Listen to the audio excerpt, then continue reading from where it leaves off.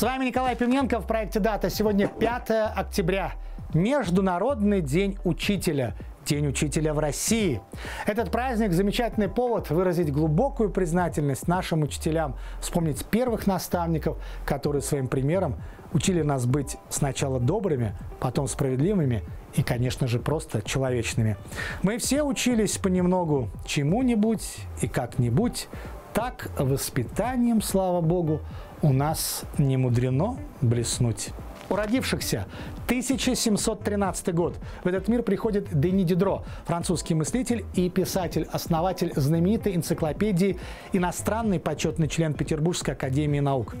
Он действительно основал энциклопедию, которая полностью называется энциклопедия или толковый словарь наук, искусств и ремесел. Вместе с энциклопедистами он стал идеологом третьего сословия и создателем тех идей просветительного века, которые, что называется, подготовили умы к Великой Французской революции. Так считает большинство историков.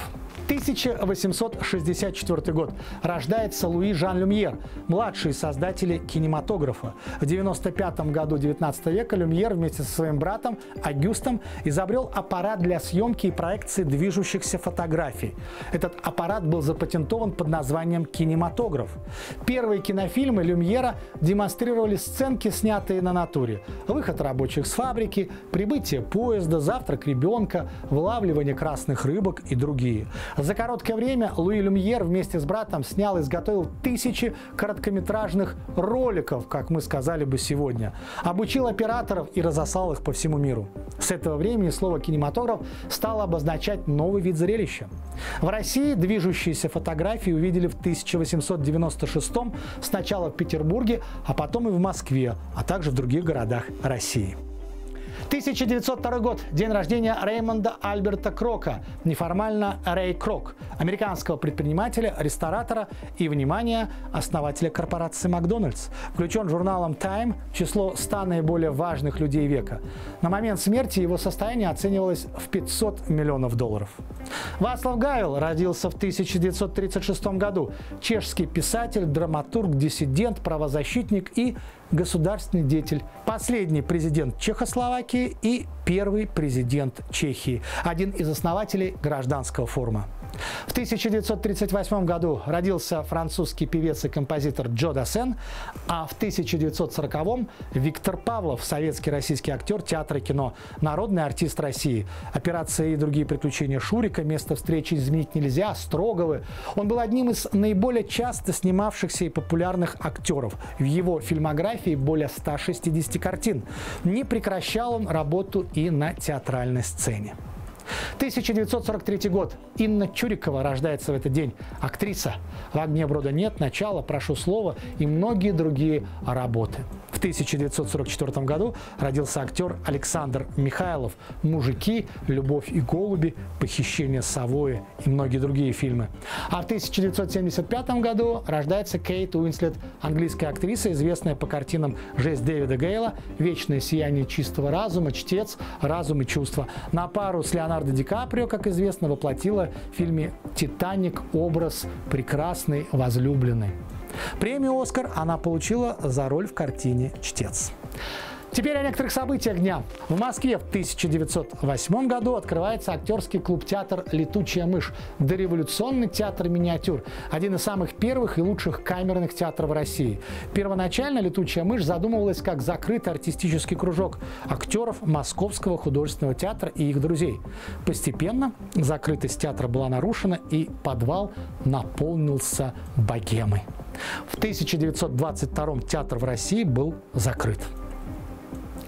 1910 год. В Португалии установлена республика. Еще 1 октября в Лиссабоне во время визита президента Бразилии начинаются массовые демонстрации республиканцев. Ночью группа восставших поддержали народные массы и армия, а также несколько военных кораблей. Два восставших крейсера подвергли артобстрелу Королевский дворец. 5 октября правительственные войска капитулировали, а Португалия была провозглашена республикой. 1918 год. Образован Московский уголовный розыск МУР, подразделение Главного управления Министерства внутренних дел города Москвы. Царская Россия до 17 года имела название Московский уголовный сыск. К середине 18-го в столице орудовало свыше 30 крупных банд. Жертвами бандитов становились не только население города, но и работники правоохранительных органов. По прямому указанию председателя Совнаркома Ленина был разработан план, согласно которому всю ответственность за борьбу с уголовной преступностью берет на себя Московский уголовный розыск МУР. 1936 год. Принимается вторая так называемая Сталинская Конституция СССР. В этот день она утверждена чрезвычайным восьмым съездом Советов Союза СССР. 1962 в Лондоне премьера первого фильма о Джеймсе Бонде «Доктор нет», «Доктор Ноу» с Шоном Коннери в главной роли, снятого режиссером Теренсом Янгом. За главную роль актер получил гонорар в размере 20 тысяч долларов. Какие-то копейки по сегодняшним меркам. 1969 год на телеканале BBC стартовал первый сезон комедийного сериала «Монти Пайтон. Летающий цирк». Именно благодаря этому сериалу английское слово «спам» консервированный колбасный фарш получает новое значение – чрезвычайно навязчивая реклама или нежелательные массово рассылаемые электронные письма, названные спам. Ну и последнее – 5 октября 1962 года. Священная дата для всех битломанов мира. Планета узнает о сингле «Love Me Do». Именно в этот день английская компания грамзаписи «Полафон» выпускает в свет первую пластинку «Сорокопятку» ливерпульской четверки «Битлз». Любопытно, что компания «Дека» отказалась записывать никому неизвестных юношей под предлогом, что ну, группа гитаристов как-то выходят из моды. В итоге сингл достиг номера 17 в чарте страны. В США он выходит в 1964 году и достигает первого номера чарта Billboard Hot 100. Это одна из первых песен коллектива.